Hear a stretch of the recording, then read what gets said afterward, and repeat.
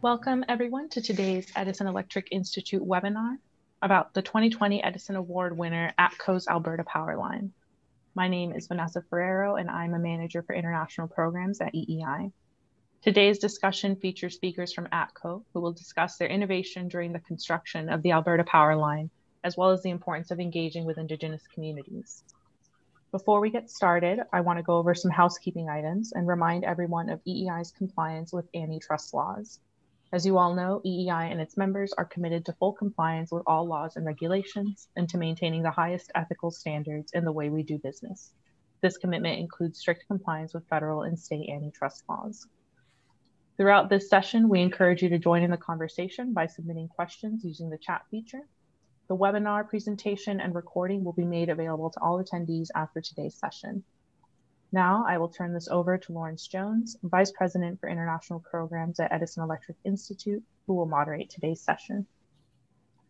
Thank you, Vanessa, and good afternoon. But I should also say good evening or even good morning, given the fact that we have a very diverse audience on this uh, webinar today, people dialing in from Australia, New Zealand, and I believe also from Asia to participate, and in fact, also from Europe to, to learn about this. As we all know, uh, transmission is a very important aspect of what we do in this industry. As we look at the move to a cleaner energy uh, system around the world, infrastructure is extremely important. And we know for a fact that getting large amounts of renewable energy onto the power grids around the world will definitely require infrastructure, especially transmission infrastructure. We also know the challenges you face in terms of building transmission is one that cuts across nations. We understand issues from permitting, siting, making sure the financial models work, uh, making sure you have proper engagement of your stakeholders. And so we're delighted today to have a conversation uh, with our friends from ATCO. Uh, they won the Edison Award for the Alberta Power Line and we'll be joined today by Andrew Pope and Craig Shutt. They will both initially give us a quick overview of the project, and then from there, we'll get into the conversation about this very fascinating project. So, Craig and Andrew, over to you. Thanks, Lawrence. Good afternoon to everyone and welcome. We want to thank the Edison Electric Institute for this opportunity today to present the Fort McMurray West 500 kV transmission project. I'm Craig Shutt, and I was involved with the project from the RFQ through to operations as the project manager. And with me today is Andrew Pope, who is the commercial manager involved with the financing and sale of the project ownership. To start off today, we have a short video to share with you.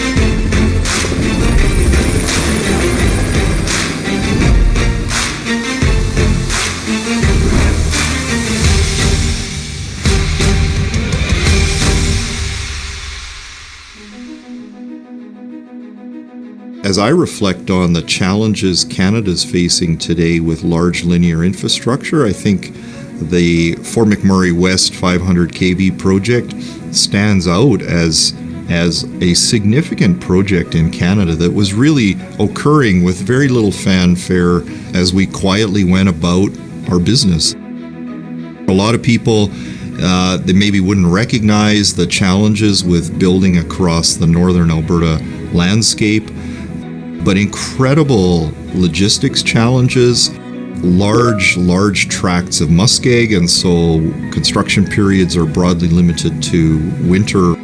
You have construction teams working in um, very cold climate conditions. There are really important wildlife species in the terrain.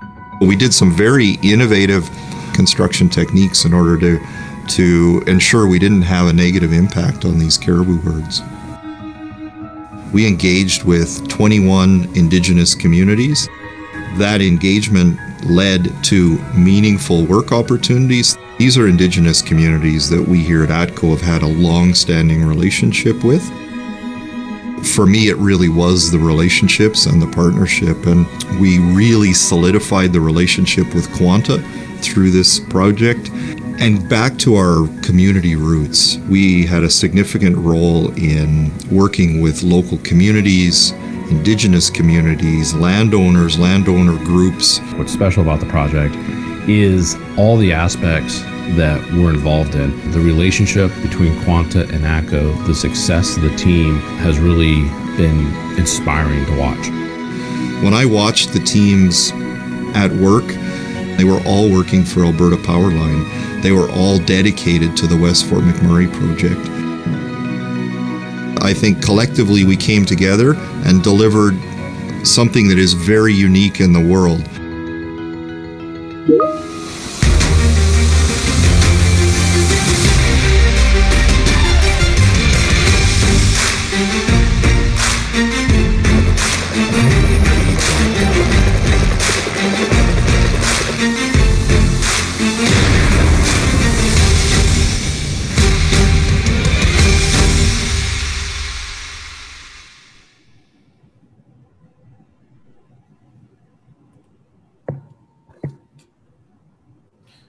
Sometimes uh, video doesn't always come through well through our Wi-Fi and such. So if you're looking for the video in the uh, slide notes, there'll be a little note of where you can find them on YouTube.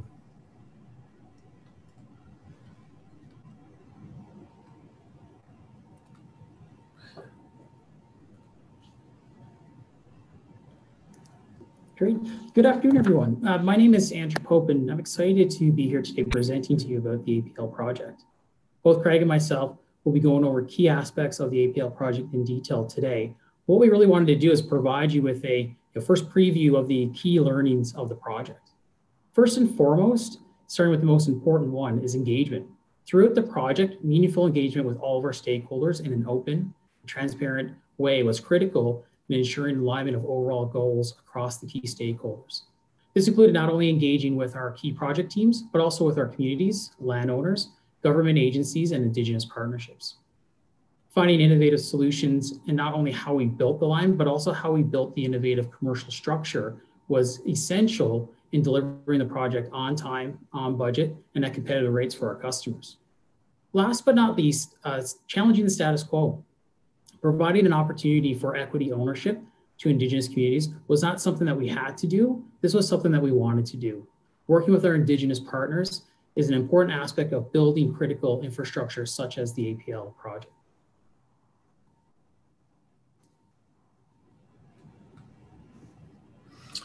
Hi, it's Craig again. At ATCO, we always put safety first, so we'll do a quick little tailboard for our presentation today. Now that we've seen an overview of the project, we'll get into the details. Andrew will first review the commercial structure that we needed to be successful for this competitively bid project. I'll then take us through the project scope, including the technical challenges we faced and how we met them and how this enabled us to energize three months early.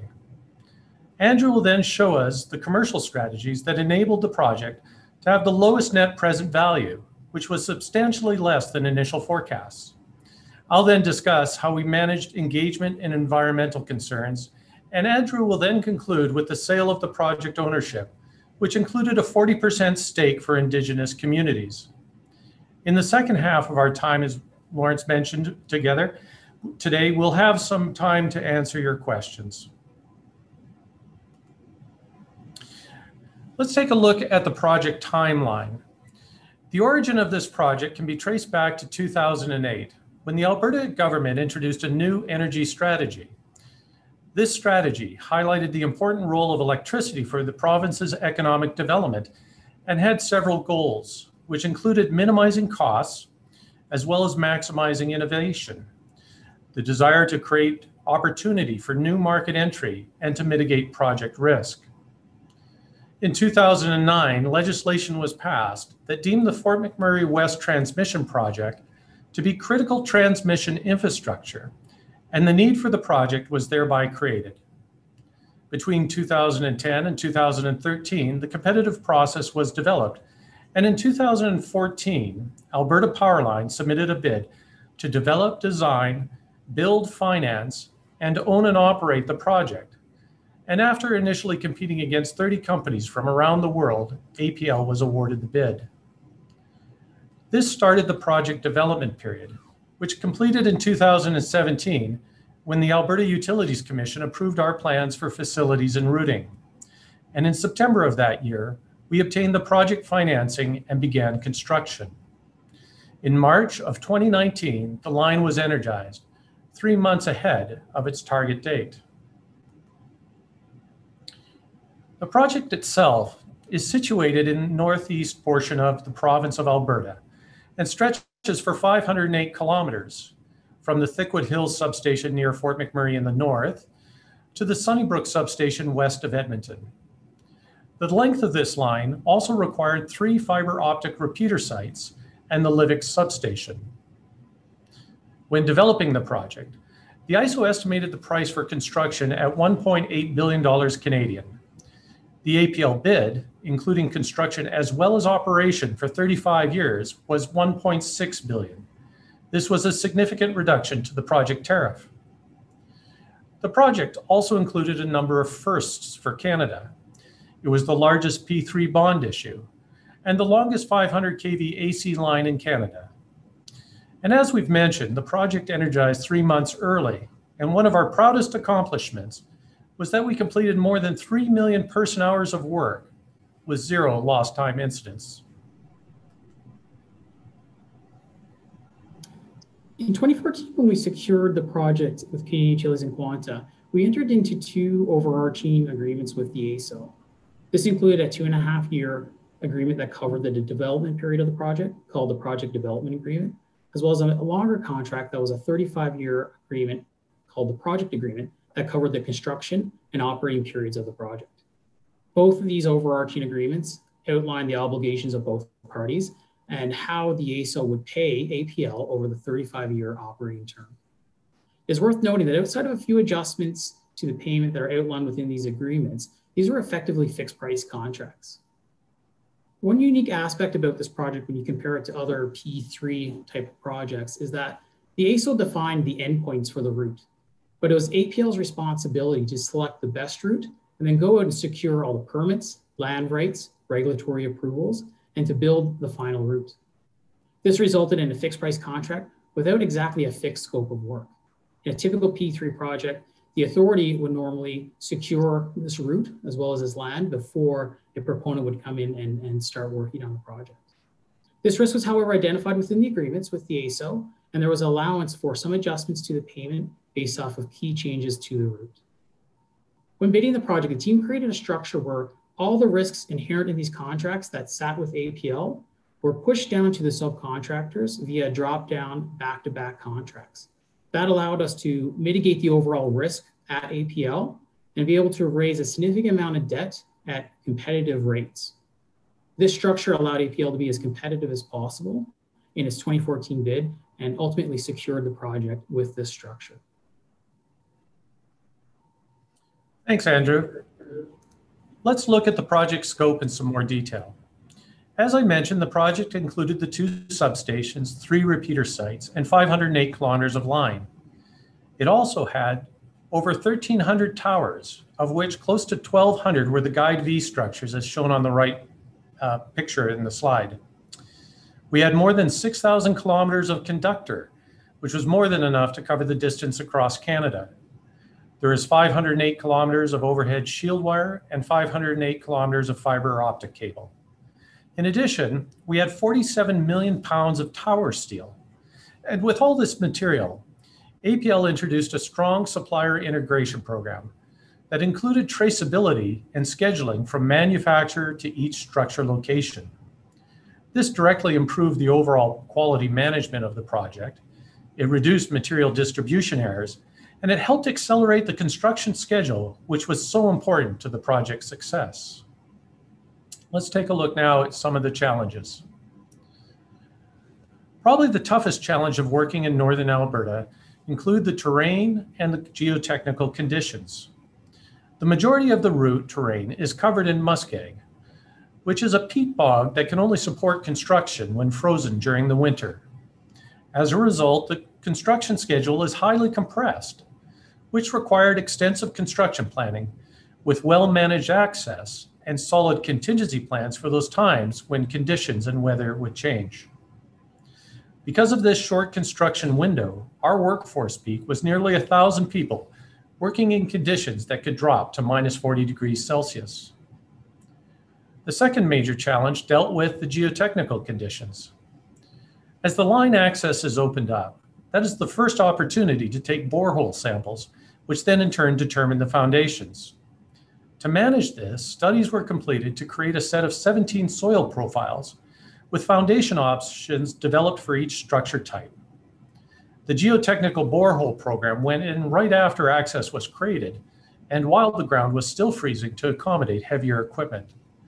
Material was then selected and dispatched from local depots for just-in-time start of foundations. We've talked about access and its critical role for line construction. During the project development period, the entire route, plus all of the construction access and workspace was mapped out. The access was planned to enable safe and efficient linear construction. It also had to meet regulatory requirements and constraints. We wanted to minimize the duration spent on the right of way and the overall impact on wildlife. And we wanted to ensure that Indigenous and landowner concerns were addressed. The southern third of the route was mostly in private lands, and the road network there met most of our requirements. Whereas in the northern two thirds of the line, access was limited to some oil field and forestry roads, and more extensive work was required. For example, the right of way between the Thickwood substation at the far north and the Livock substation, shown by the star on the map, it was the right of way itself that proved to be the best access between the two sites. During the first winter construction season, we focused on completing as much work as we could in the northern work fronts as possible. And after that first winter, construction was ahead of schedule, and the geotechnical boreholes were keeping ahead of foundation installation. This positioned the second winter season to complete early. The single largest effort on the project is the construction of the line itself, and this is also where significant challenges had to be met. In particular, as I've mentioned, we wanted to safely accelerate construction and reduce overall time on the right of way. The major contributor to success in our line construction was the Guyed V Tower. It was designed specifically to meet the project requirements, both for construction and for maintenance and reliability. For example, the structure is designed to support maintenance using live line techniques to avoid outages. These towers also simplified foundation requirements and made use of prefabricated guy wires. The towers used less material, and most importantly, they could be assembled as a complete structure on the ground and then could be erected with a single lift. For comparison, more than 10 Guyed V towers could be erected in a typical day versus one self-support lattice tower, which would typically take about two days to erect. As a result, the construction of the line was completed early, and this facilitated the early energization at the end of March in 2019.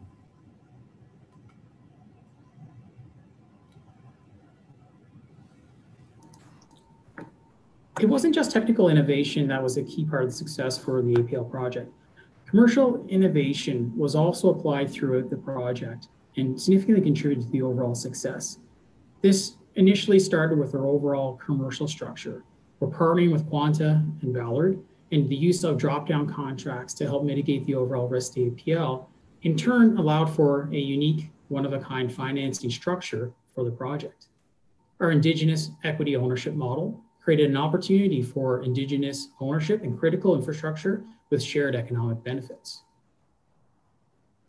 Expanding on the partnership model, we really believe that the partnership with Quanta and Valard was a key aspect to the success of our project. Both companies had multi-decade years of experience in designing, building, and operating transmission lines. There was also a long history of working with Quanta and Valard, as Valard has acted as a key construction par partner on a number of Canadian utilities and ATCO Electric's transmission lines. This history of working together and the shared learnings from recent large projects was incorporated into the APL project from day one. With Valard acting as the constructor and ATCO Electric providing route planning, operations, and management services, both companies were able to apply and bring their depth of experience into each area for the benefit of the project.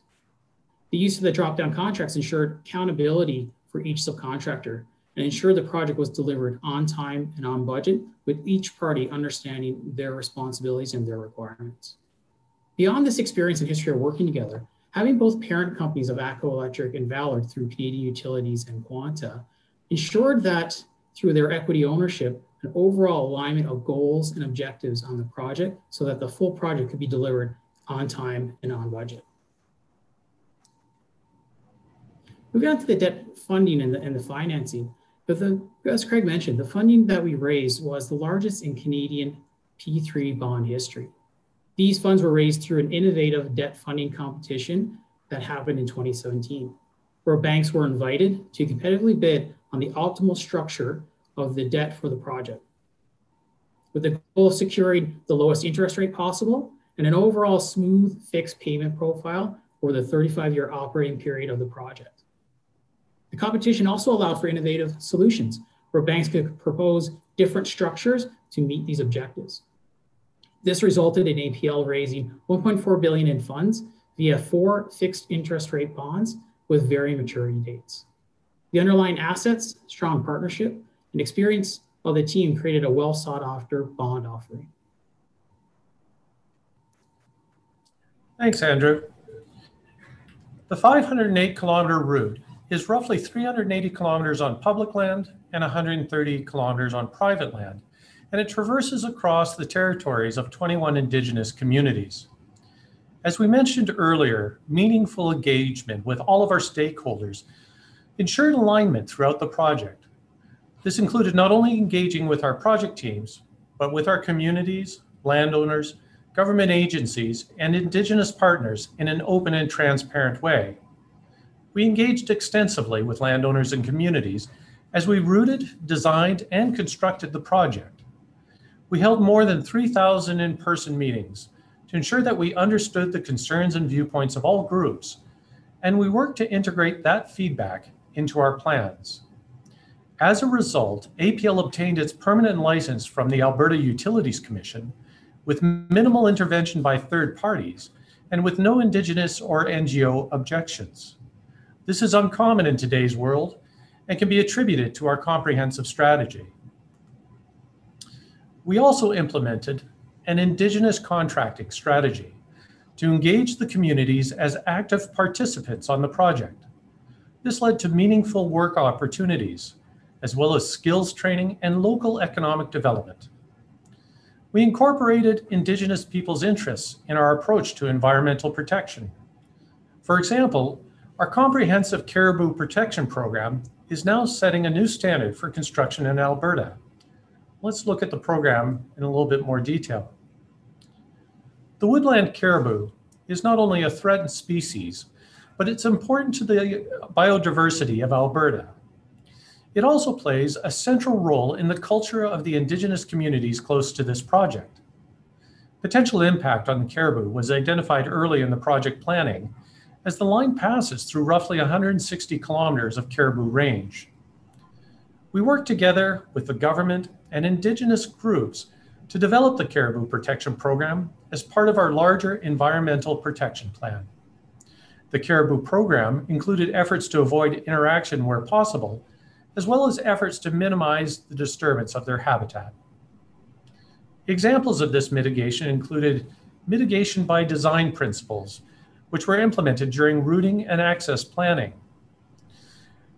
We also had the development and review of various mitigation options, including a specific caribou workshop in 2015.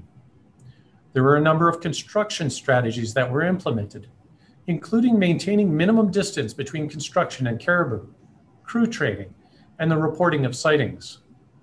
And there were opportunities such as selective vegetation retention and planting along the right of way, which were implemented to reduce line of sight for predators of the caribou. This plan is still in use throughout the operating period for the line. Moving on to the sale process. The overall sale process took us approximately 12 months from the official launch to closing of the transaction. Um, but that 12 months doesn't account for the many months of planning that went into the project um, in the year follow, uh, in the year leading up to the launch of the process. But from the very beginning, meaningful Indigenous equity ownership in the project was an important goal from ATCO. In order to achieve this, we structured the sale process, the sale process into two phases. The first phase was a broad sale process where potential purchasers were invited to bid on a 60 to 100% ownership in APL. After entering into definitive agreements with the successful bidders, a second phase was then launched. This was a 60-day option period.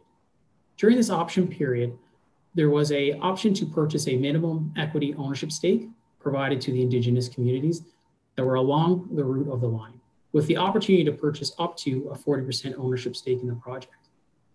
This two-phase sale process and the 40% ownership option that was on reserve for the communities was contemplated from the very beginning and was communicated with all bidders, you know, including the phase one bidders as well as the communities, so that all parties understood the process uh, and what was being put on offer.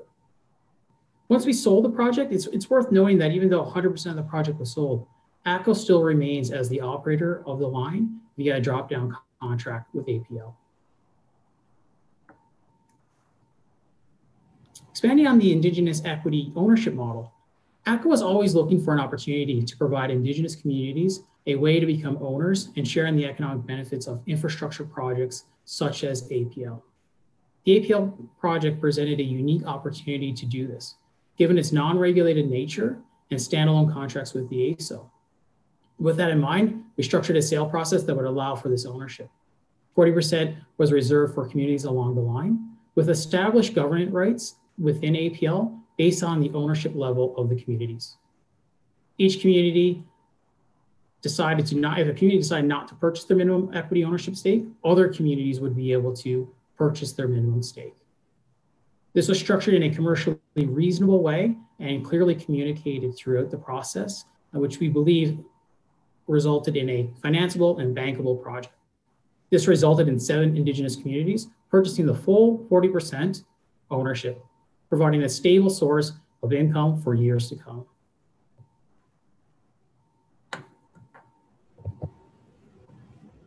Finally, here's a look at our digital trophy case. APL's achievements have been recognized by a number of awards across multiple disciplines, from construction to financing to innovation. The Edison Award itself is a prestigious award and something we're very proud to have received. This grouping of awards demonstrates the planning and effort that went into the APL project where the team didn't focus on just one aspect of project delivery, but giving the attention needed to each aspect and discipline in order to deliver this world-class project. And with this, this concludes the formal part of the presentation. I'll hand it back over to Lawrence for, for Q&A now. Thank you so much. Uh, this clearly demonstrates, uh, Andrew and Craig, why this project was selected by the jury of independent judges to, to become the, the award winning. Lots of interesting questions. I think I want to start off with the issue of engagement, stakeholder engagement. Um, how critical was that in the success of the project? Because you said, I believe, Craig, that um, there was little environmental intervention, more or less. Uh, and we know that's one of the big things facing infrastructure projects across the world that there are concerns, rightly so, about the environmental impacts of these studies. So, how essential was uh, the issue of stakeholder engagement in terms of uh, getting this project off the ground? Well, um, like you say, it was uh, the critical cornerstone for the project. When we started in the initial planning stages, that was the opportunity for us to first get out and talk to the various groups involved and that helped set the stage for all of our planning efforts. When it came to things like routing, by engaging Indigenous communities, we would understand their use of the land and could make routing choices uh, to work around that. Or we could work to do uh, accommodations. And in several cases throughout the construction period, in our ongoing engagement, they would come out and observe construction, especially at key areas like river crossings. Um, I think when we talk about engagement, it, it it provides the basis for all of our work. It allowed us to build a project, like you said, that had minimal uh, issues. And that allowed us to go into a regulatory process um, with basically a group of folks that were more like our uh, colleagues as opposed to somebody that might be opposing uh, an aspect of the project. And that was very important to us. And with the project kind of being in our backyard, as it were, um, ATCO is very focused on maintaining strong relationships with the communities and the indigenous communities we serve. So um, this is our ongoing model of the way we would like to do things with them. Not so much just consultation, but actual engagement. So and I think to, I was just going to add, add, to that um, in terms of the engagement as well. Um, you know, with our communities and, and offering the, the equity ownership, I think you know that was a continuation of the engagement, not just the engagement upfront to get the project built, um, but also you know continue that engagement, continuing the dialogue, um, coming forward with an opportunity for them to have an equity ownership stake in the project. I think that's part of that fulsome engagement package that uh, you know ATCO did on the project from from beginning to end. So I want to talk about a couple of topics around the theme of innovation, and and maybe we'll start first with you, Craig, since you had the slide about technical innovation. We'll come back to the commercial piece with Andrew. So from the technical innovation, can you talk about some of the challenges of the design? Because you know, one of the things when you're designing new towers, you you have to battle between what has already been done, which can sometimes be the easiest route to go, and then when you talk about coming with a whole new design, you you face internal resistance to want to come up with a whole new design because the engineering codes have to change. There are a whole lot of things that have to go into building a new a new tower. So talk about how you manage the internal struggles of innovating around a new tower design. Absolutely. Um, and that was quite an exciting part of the project. When we talk about the Guyed V Tower, that was something that came out in the very early steps of our development of our bid we were looking for ways to innovate and set ourselves apart from the other proponents. And the Guyed V Tower was one of the uh, key ideas that was developed. And in order to get the tower uh, suited not only for construction, but also for that operations uh, period, so that it would maintain the reliability that the operating uh, groups would require of it, we had the operating groups integrated into the project from the very beginning.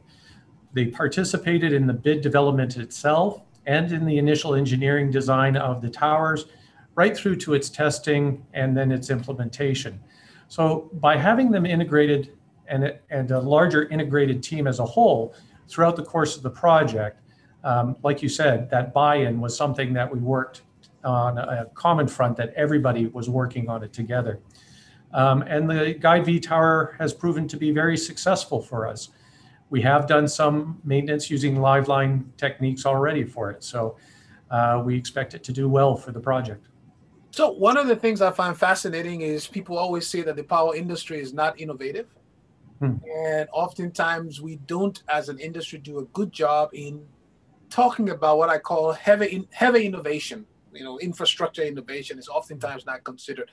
What has ATCO done to to tell the story around the technological innovation for say the average Albertan citizen who doesn't understand that that tower looks beautiful today, but there was a lot of brain power that went into it. How have you what have you done to kind of uh, tell the innovation story from a technology standpoint around this project?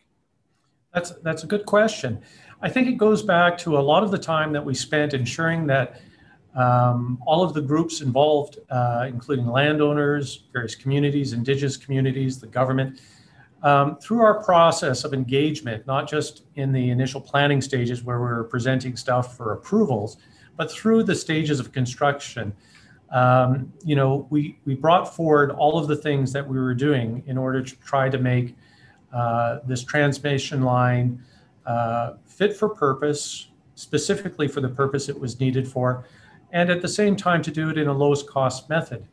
Um, so there's been that ongoing effort to bring awareness to the Guyed V Tower.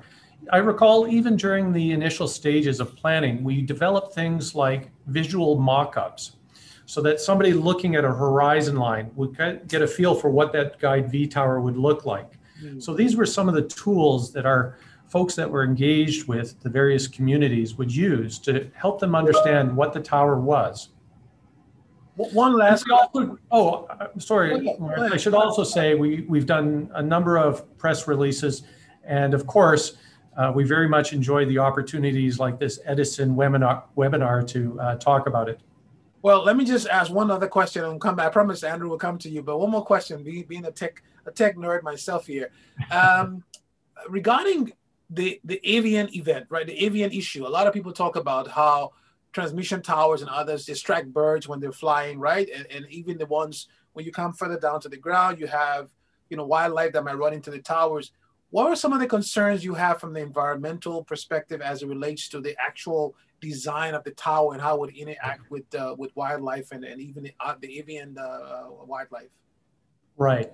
So the towers themselves have a relatively small physical footprint, but it is a center point plus four uh, guy wires. And in order to, you know, increase visibility, there was a number of things we did. Um, the guy wires themselves would have uh, high visibility uh, guards on them.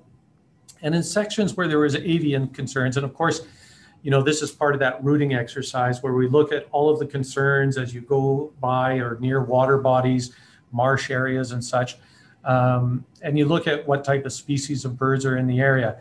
Mitigation would then come from reviewing what the requirements were, and we would put on various things like bird flappers and uh, other kinds of things that would help increase the visibility of the line. Mm-hmm. And again, I think it's kind of like the caribou exercise. You start from an exercise of mitigation design and principles in your routing. Then, as needed, you mitigate um, with the tools that you have. And in particular, with our Guyed V Tower, uh, we look to adapt those tools to be applied for that tower. Good. We'll come back to innovation. Uh, I, I want to talk a little bit, I mean, to technological innovation. Let's get to the commercial aspect. We said the other reason that made this project so fantastic uh, and, and so well received by the jury within the uh, the Edison Award uh, uh, uh, selection process. so, Craig, talk about the. I mean, sorry, Andrew. Talk about the this whole P3 structure. What made this different from other funding projects projects you funded in the in the in the province. Why P3 as as as an approach? And then the other question is, um, do you think going forward this will be the model for other kinds of projects uh, within Alberta or even outside? I know you guys are also active in uh, in uh, in um, uh, Puerto Rico, right? So do you see this model extending beyond Alberta to other parts of the country or the world? I think from a, from a P3 perspective, it, it's a pretty established model in a number of jurisdictions for you know, governments to find a way to um, you know, partner with you know, private companies to you know, build critical infrastructure um, that they want and to you know, structure in a way contractually to ensure that they get what they want at the end of the day. And you know the private company who's, who's building it is is delivering on that kind of on budget, non time. So it's a very it's a you know a very structured type of type of agreement but really you know gets the, the outcome that you're that you're looking for. Um, in terms of the APL project, um, it was quite different than other P3s um, from the two contract nature of it. There was a development phase as well as a construction and operations phase, um, and that really hasn't been done before. You know, a typical P3 would have um, would have a you'd be in the construction phase and you'd have financial close. You wouldn't have this design and development phase. So that was a really think unique aspect, but you know, for this project, it, it, it really did work. Um, and, and we were able to you know, deliver it on time and on budget. So, you know, the AESO itself created this very you know, innovative, you know, P3 structure. And then within that, you know, we work within that structure to um, develop our commercial, you know, structure through our partnerships, um, through our drop-down contracts to um, to mitigate the risk to, to, APL, and then you'll be very successful on the the funding competition, uh, which in, in you know from what we know is that that funding competition hasn't really been done before. It was kind of a first for for a project, and that really ties back to the whole you know development period and, and project agreements. So you know, we had to innovate through through that whole through the structure, um, through how we did the debt funding competition to to deliver on the project. And, and actually, I find some applicability for this approach even in the emerging markets in in sub-Saharan Africa, in, in Latin America, and elsewhere where there's a huge demand for transmission to be built, but there's not enough funding to do it. So this could be something that certainly can have a, an appeal there. Let's let's talk about the, the portion that has to do with the with the the, the the, the, the different groups that were involved, the indigenous groups you've talked about that uh, that were involved in, um, you know, sort of a buying part of the equity uh, further down the project. Um, what were some of the challenges you had? For example, did you did you have to build within the project model itself, from a commercial standpoint, certain um, community build com- community development work? To give you an example, in some projects, uh, PP, P3 projects, uh, you know, you asked to sort of uh, invest in schools, you invest in, you know, community building. Did you have to do some of those kinds of things as part of this uh, this structure? Um, Craig, correct me if I'm wrong, but I don't believe within the exact agreements there was a requirement for a certain amount of you know, you community spend. But I would say, you know, from an ATCO perspective, you know, as we're engaging and consulting with the communities, we're always looking for opportunities um, to you know, employ indigenous communities and, and find find you know work. So even though there was not a specific requirement, you know, we, we look for that through through our engagement and through the construction side of the project. Yeah, yeah. One other question on innovation, and this is a tricky one. So both you, you and uh, Craig can take it one or the other. So, so timeline, right? We know that transmission projects normally take a long time. So I was just doing a quick math here. So you started in 2009. By 2019, it was done. So it's 10 years, right? So bravo. That's a huge success for a transmission line in North America. So if you take the three issues that make transmission lines difficult to get built on time and budget, one, permitting, uh, siting, and and then also just the whole uh, development aspect of it. For those three areas, which one of them created most delay or caused some delays uh, that you would have probably been done even sooner? Was it the permitting side that was difficult? Was it the siting, or was it the actual build out? Which of those three a- areas created more problems for you in this project? That's an interesting question. Um, this project, like we mentioned, used a different business model. It was a competitively bid process compared to a direct assignment where the traditional utility of an area would be assigned to build that portion of the project. Mm-hmm. And there are benefits to both models. Um, in a direct assigned process, you don't have to go through the length and time of a bid process uh, because you would proceed straight into the development of the route. Um, but the nature of the competitive project, I think, allowed us a very solid planning upfront window, mm-hmm. and that also, um, you know, went into the permitting stage. So I, I think the permitting stage um, was kind of a typical project. The construction phase itself, um, we did a lot of effort to ensure that we could complete it within two winter seasons. Um, ATCO uh, Electric and Valard, the constructor, have done other projects over the past several years. And I think what really helped this project was the experience and the lessons learned over the past, you know, five to 10 years before this project that then could be applied directly into our project. Mm-hmm. So a lot of those things that would typically be a little bit longer for permitting or a little bit longer for construction, um, we saw a lot of benefit from those previous projects that way. And, and and, I'd also probably add from a yeah, know, from a commercial perspective, you know, the agreements themselves um, also incentivized um, hitting the timelines. You know, in a typical P3 project, if you, if you don't hit your timelines, there, there's penalties. So you have not only your wanting to build and wanting to you know deliver on your contract, you also have you know the the mechanisms within the contract and also allowed for through early energization the ability for you know additional months of of payment. So you're, you're incentivized not to go over, but also incentivized to, to come in early, um, which you know drives your overall teams as well to kind of meet those deadlines and meet those timelines. Mm-hmm. Uh, so uh, one of the other things you mentioned, I think, uh, Craig, you did in terms of uh, at least in the agenda, you had ESG on the agenda, and I mm-hmm. want to talk a little bit about just some of the lessons learned in terms of making a project sort of uh, environmental friendly, right? Mm-hmm environmentally sustainable. Can you talk a little bit about some of the things you learned from a environmental standpoint in this project?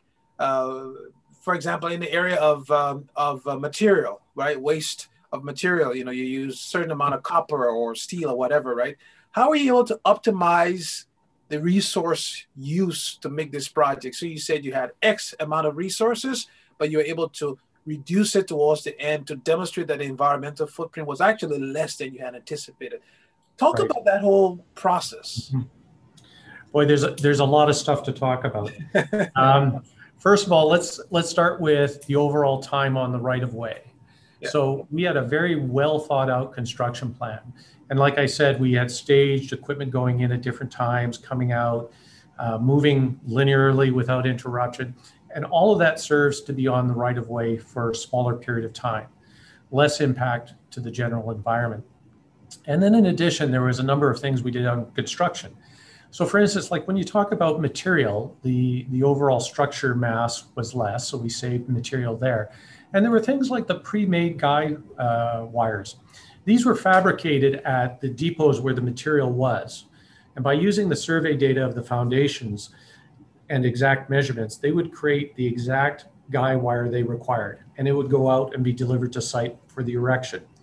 So a lot of the material that you would normally kind of expect to um, you know kind of extra cuttings or whatever that kind of stuff. A number of things were done along that way to ensure that uh, there was minimal wastage. Um, and the, the the whole material management program, we've got to give them a lot of kudos because they they manage things really to a T.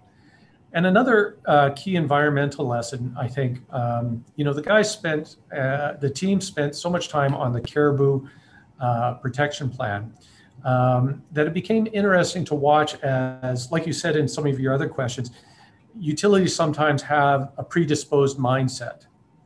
And so we actually looked at planting vegetation under the line after we finished building it, which um, we had to have a number of conversations with our operating group to kind of say, we're, we're picking vegetation that won't grow into the line, but will provide cover for, for caribou. So um, I always like the way Andrew put it that we're challenging the status quo. So there was a number of areas where we challenged the status quo, and um, you know the environment was able to benefit. So Andrew, on the on the commercial side, the commercial innovation piece. So so Craig just Craig just talked about the you know savings on the equipment and what have you, uh, materials. From a commercial side, um, what has been the response from the the different groups who have equity in the project? today? Uh, have you gone back to them and, and, and gotten their, you know, their, their, their reaction now that the project is there? How are they responding to it? So it's not like you've done well, the project, walked away. Have you gone yeah, back? And, and, and, actually, we haven't fully walked away um, from it. So through our 35-year operating agreement, as well as we provide management services for you know for the project, we have regular interactions with the team during. You know, we help organize the quarterly board meetings. Um, we work with the teams you know quite regularly.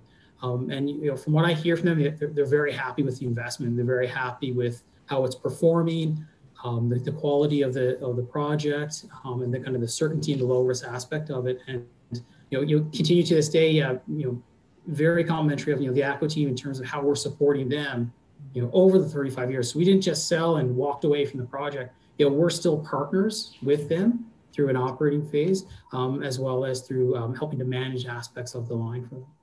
And are there are the communities helping you guys, uh, Craig, and both you and Andrew can respond to this, but I'm always intrigued when these kinds of structures are done. Um, I get an equity, and that's all I'm, that's all I care about. But in some cases, the equity owners actually do a, uh, a very active, play an active role in in talking about the project, in talking up the project, right? Have you guys gotten the support from your equity shareholders in terms of, uh, I mean, your equity holders in terms of promoting the success of this project? Uh, I can pass on a few uh, notes on that. Uh, the, the new ownership and the board specifically and its management committee are very interested in the concepts of ESG, and that's something we talk about whenever we get together with them. Um, they were very pleased, I think, with things like the Caribou Plan, and um, we've had a number of requests to provide pictures and information for various circulars and such that they're doing in their various organizations. So it, it's very gratifying to see that um, the results of everybody's effort is, is being uh, recognized. And we hope that what we learned uh, can be applied by others and they can gain a similar benefit. Any thoughts, Andrew? I know I, I, I share uh, Craig's thoughts. It's uh, you know it's generally positive um, you know, people and groups talk about ATCO, kind of how we engage. And you know, this is an example of a project of you know how we went out to the communities, said we would do this, and actually went and did this. Um, so you do get that that word of mouth, you get that type of um, you know brand and, and, and, credibility behind you. And you know, we still work with these communities on on, on numerous other projects. So you're just having you know a project like this um, and how we work with them on it. It's you know, it's you know, it sells itself in a sense that you're able to do other things with with those communities and um, you know and for for everybody's benefit. Yeah, I'm I'm perhaps biased to this. Growing up in a in this in this industry and having a lot of uh, transmission focus for myself, that that uh, I always believe the transmission lines are among the most beautiful things in the world. Most people disagree with me, um, but um, but that's just my own view. But we have about five or six more minutes left here, and so I want to maybe try to wrap it up by first having each of you reflect on won an award for this very interesting project and three questions, very short, but I will just put them to you like this. So, what would you do again if you had a new project, uh, similar wherever in the world? And I, and I want you to think beyond because we want more transmissions built, transmissions lines built because we want to have more renewables. We want to have more energy uh, accessibility around the world. So we need transmission, but we have the barriers which we see through this project we can avoid. So if we replicate the model, the ideas from this ATCO project around the world, we could see more transmission lines built much faster. So if you could do this again, what will you do again? What will you do differently? And what would you not do? So maybe you go first, whoever wants to go first. Mm-hmm. What will you do again? What will you do differently? And what would you absolutely not do if you had to do another transmission project in a very hostile terrain as you were in this case? Maybe I'll, I'll start off with what would we do again. And I think we touched on this uh, you know, a number of times. It's it's the it's the engagement, you know, the engagement with all stakeholders and, and meaningful engagement. You know, we do that in any one of our projects. Um, and it's, it's setting up the right team, you know, from the beginning. You know, picking the right partner, um, having expertise and depth of experience, kind of where you're building, is, is always beneficial as well. So, you know, if we were looking at that, you know, we'd look for partners um, in those regions that we'd be able to, to partner with um, that have the expertise to be able to deliver on the project. So, you know, I do, you know, those two things, you know, again and again on, on, on any one project. Anything you will not do. There's uh, honestly, there, there wasn't anything that came to mind. There was a lot of challenges through the project and there was a lot of uncertainty about how the you know the financing competition would play out, how the indigenous ownership would play out. But um, I wouldn't do it differently than how we structured it, um, and how we staged it, and how we worked, and how we engaged. So, I mean, it's a bad thing to say, but there's nothing that came to mind kind of through kind of my seat going through the, the commercial and, and sale process that I would, you know, that I'd say, you know, I have to change that. Um, it, it, did work out um, in, in, in the planning that we did. I'm actually very happy to have a commercial guy and a technical guy on this panel on this uh, dialogue because I know when I was in in the business of, of selling technology, we would always run into issues with the commercial guys who would say everything was perfect, nothing to change. So, Craig, do you agree with Andrew? Uh, what was different, or what will you do differently? What will you do again, and what would you not do? So let me see if my uh, theory of commercial and, and technical guys always work. Let's see what you're going to say, Craig. I, have got a few thoughts, and I'll, I'll share an anecdote. Um, I, you know, it was it was a very good project, and we had a good foundation between partners, and we'd worked extensively over the past five, ten years. And throughout the whole course of the project, we had the same people involved. You know, the same leadership teams, uh, the same key individuals, the the design and like I mentioned, we had O&M people involved from beginning to end. So that's one thing I would definitely do again, that concept of continuity and team. The second thing I thought that was so good on this project was the solid planning and the contingencies. Um, we had the opportunity to challenge all of our assumptions. You know, when somebody would say, you know, brushing will work out like this, and you know, you could ask the question, what if it doesn't? What would we do? Um, and so we had the opportunity to work through all that. Another thing I think that was very important with this project, and I think this is part of where the overall competitive process wanted us to go, was that idea of fit for purpose and innovation. So the Guyed V Tower, if we were building a standard direct assign project, that might not be on the table for selection per se. It may be prescribed what type of tower type is going to be used.